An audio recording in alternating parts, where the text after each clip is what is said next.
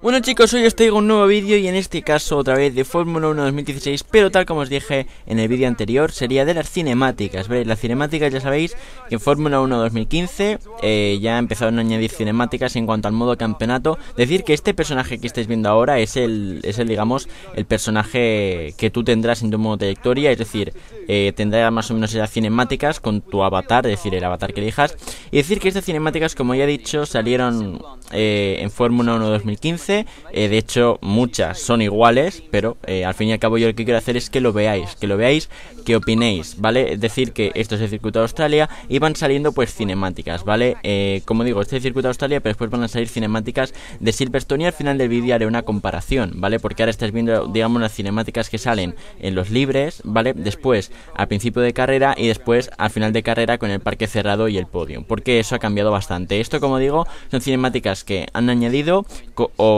cosas que han copiado de Fórmula 1 2015, pero que al fin y al cabo son cosas que están en Fórmula 1 2016 y que creo que están bastante bien. Después veréis, eh, justo en unos segundos vais a ver, eh, digamos, eh, la parrilla de salida y tal antes de la, antes de la carrera y después veréis, digamos, después de la carrera. Una vez ya, pues terminas la carrera y se supone que ganas. Decir que la cinemática del podio sale aunque tú no estés en él, porque el gameplay, decir que no he dicho que es de Araba, que tenéis el, el canal y el y el vídeo original, bueno, en los vídeos originales en la descripción y decir que él está conduciendo con Hamilton, gana la carrera Rosberg y sale en el podio Rosberg a pesar de que Hamilton no está en el podio, es decir, cosa que, que bueno, que no sé si será solo en carreras rápidas o, o será también en en el, en el modo carrera, ¿vale? Porque, o sea, si tú, ahora ya sabes que en modo carrera cuando haces, cuando estás con un piloto y no cumples tu objetivo, se ve como, como sale del coche así medio triste. En cambio, si ganas la carrera, pues ya sale en el podio.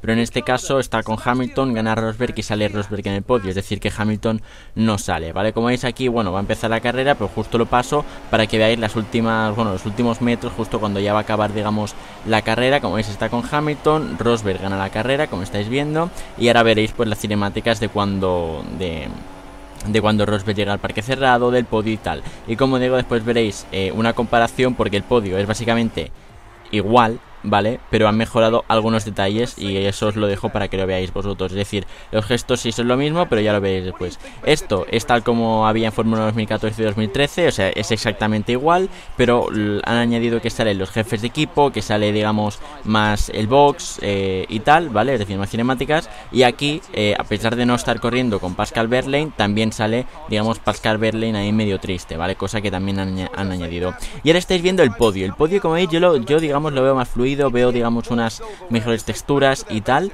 eh, pero no os dejéis engañar, no os dejéis engañar porque ahora justo lo último que vais a ver va a ser la comparación y os puedo asegurar que es muy, o sea, mm, clavado, las cinemáticas clavadas, solo que han mejorado, digamos, un poco, yo diría los gestos, un poco la gestualidad de la cara eh, eh, y un poco las texturas, ¿vale? Así que nada, simplemente para deciros eso, como veis en el Gran Premio Silverstone, el podio, sobre todo para que lo veáis y opinéis, y ahora os dejo con la comparación. Así que nada, espero que os haya gustado el vídeo y nos vemos en el próximo. Adiós. It's yet more silverware to take back to their base in Brackley after another excellent Grand Prix.